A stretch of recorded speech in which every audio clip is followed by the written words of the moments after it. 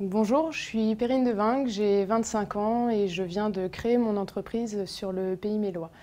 Donc il y a 5 ans maintenant, euh, j'ai choisi de conjuguer ma passion pour le sport avec euh, l'intérêt et l'affection que je portais à mes grands-parents et plus généralement à mes aînés.